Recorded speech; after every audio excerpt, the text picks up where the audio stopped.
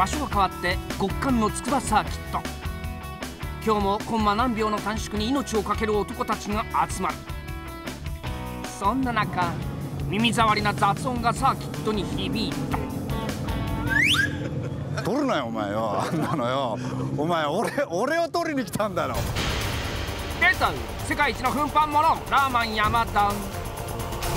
ちゃんとした車いつも用意しろってんだあんだよ傍若無人なるその振る舞いは関係者全てを不快にさせる。八つ当たりもお手の物。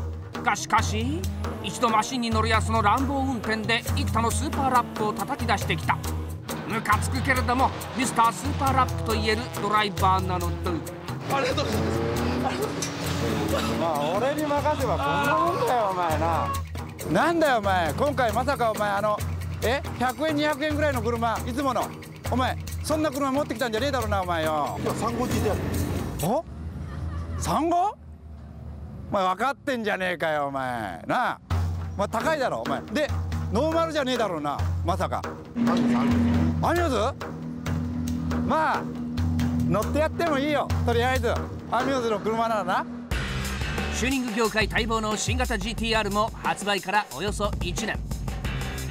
今回ラーマンがアタックをかけるのはアミューズ GTR だ。筑波での3号 GTR 最速ラップを持つマシンはいかなる開発コンセプトで製作されたのか。開発のコンセプトについてはアミューズで市販されている部品でどこまでサーキットを速く走れるかということに着目して開発を進めていきました。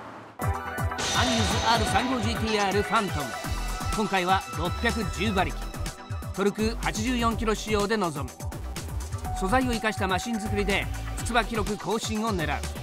サーキットマシンらしくフロントリアともにエアロパーツで完全武装。フロントアンダーを解消するためフロントディフューザーを装着。ステーでしっかり固定されたリップ部分に大人がぶら下がっても平気な強度が出ている。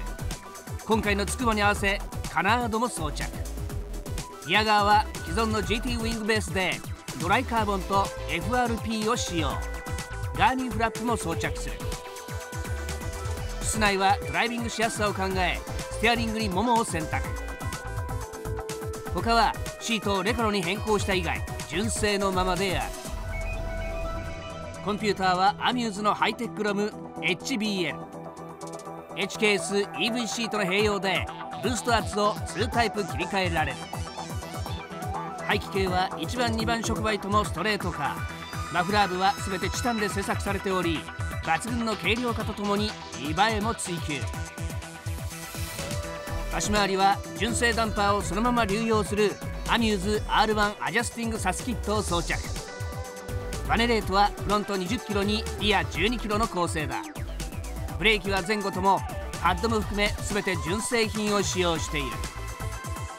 タイヤは純正品のダンロップ SP スポーツを履く。ただ前後とも同サイズに設定。フロントタイヤが255から285に変更されている。今ファントムで一番速いタイムは、えー、田辺さんがドライブして、えー、今年3月にも、えー、達成したつくば59秒061というタイムが、えー、今最速なんですけども、えー、今回は58秒台を目指して一応サーキットに持ち込みます、えー、シフトポイントを気にしながらハンドリング操作をするということが、えー、ごく一般的に難しいということで、えー、田辺さんはそのリスクをなるべく避けるために、えー、オートマモードでの走行をしております。今回のつくばは山田さんが乗られるということで、えー、アミューズとしてもぜひパドルシフトで、えー、どのぐらいのタイムが刻めるか、えー、非常に期待しております。高級車に乗る奮発者今回スーパーラップは叩き出せるのか？見てろよ俺のパフォーマンス見せてやるよ。見てろ。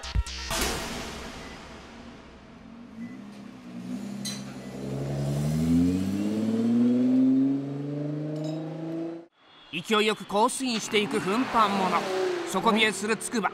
空気も締まってコンディションは良好。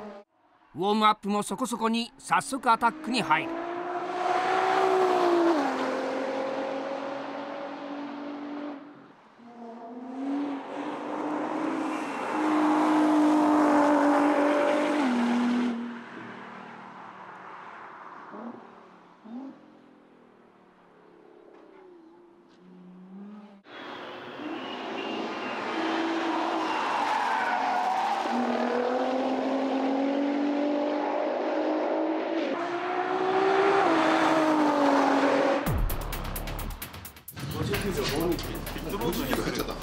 はい、59秒061ですねだからまだまだ更新はできてないんで左のねコーナーではね結構入ってくれるんですけど基本的に右がちょっとアンダーっぽいんですよ。そのアンダーがずっと引きずるっていうそんな感じで。でパワーかけた時にもうちょっとこうフロントなんかが引っ張ってくれるといいんですけど、若干フロントの引っ張りがやっぱりちょっと弱い感じが。どうしてもトトルク配分の絡みもあるんで。はい。はい、行くよ！もう行くしかないだろう本当に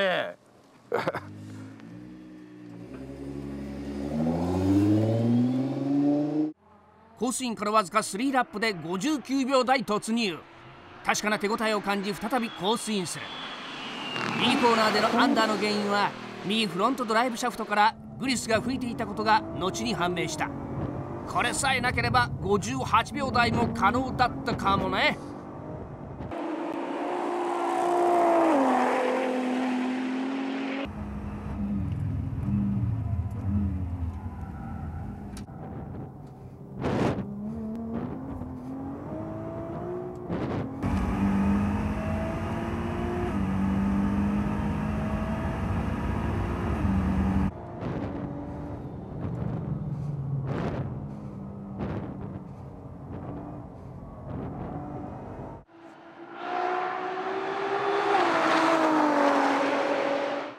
今の状況の中でやっぱりタイヤ最初ちょっとタイヤが滑りやすくってでグリップしだしたなと思ったらどんどんどんどん逆にまたタイヤが垂れてきてっていうねそういう感じで。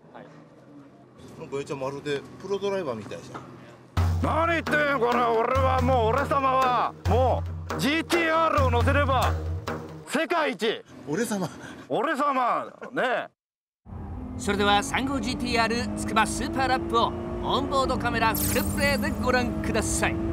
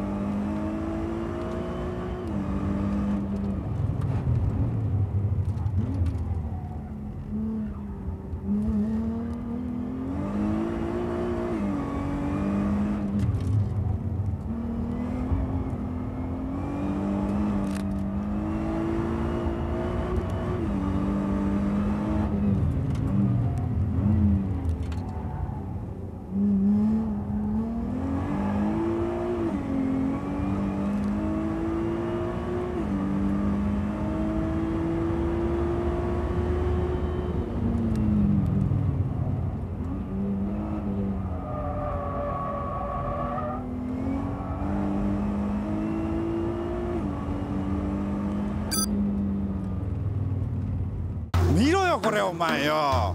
な？かっこいいだろ？俺に似合うのはお前こういう GTR なんだよお前よ。これがまたポイントなんだよお前な。でしかもこのな？カナード。いかついだろ。でもな実際走ってみるとこういうのはな効くんだよ。フロントはないっぱいつらい位置だろ。でもこれは入ってる。なぜ入ってるか分かるか？お前。分かんねえだろお前らバカにはな。教えてやるよ特別に。これは基本的にフロントを少しでもやっぱり設置させるためにリアを無理やり中に入れる。そうするとちょっとでもこうリアがねあのスムーズに流れやすくなると。なリアをこう目いっぱい外に行っちゃうとリアが変に設置して車がアンダーのままで割っちゃう。なあなあなななんだなんだなんだ。おかしいと思ったんだよ。あまりにまともなこと言うから。なんだああんなところにチビがちっちゃいのがいるな。おい!おい!挨拶がねえだろお前よ。えなんだよお前これ。これ。お前お前新人かよお前。新人のレーシングドライバーかよ。こんなに妻とまさよ。もういいよ。もうつまんないよお前。あっち行け。つまんない。あれでね結果を出してくれれば、えー次にもつながると思うんでね頑張ってほしいと思いますね。はい